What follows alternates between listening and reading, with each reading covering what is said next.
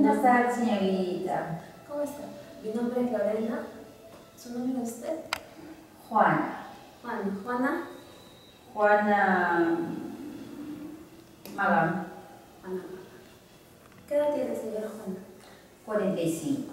45 años, una señora joven. Gracias.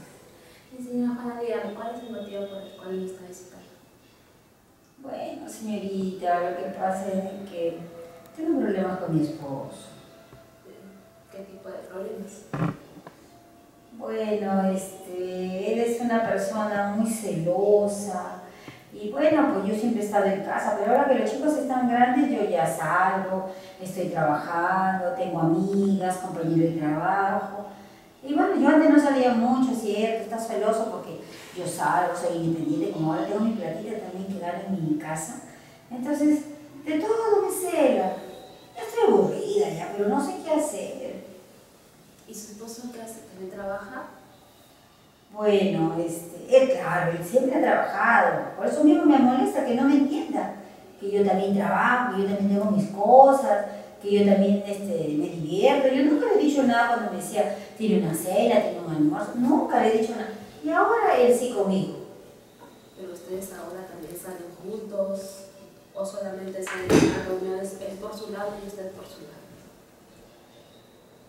Bueno, a ver, nosotros nunca salíamos mucho juntos, porque usted sabe, salir juntos es un gasto.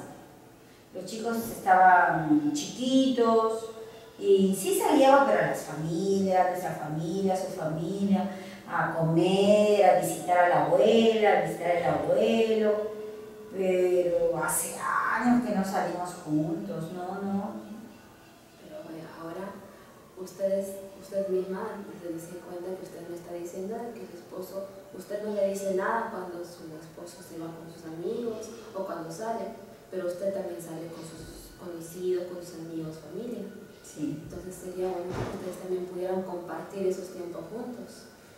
Sí, pues yo le digo, pero no sé, yo no creo que él va a aceptar, porque ya estamos acostumbrados cada uno a nuestra manera. ¿Usted por qué cree que no va a aceptar?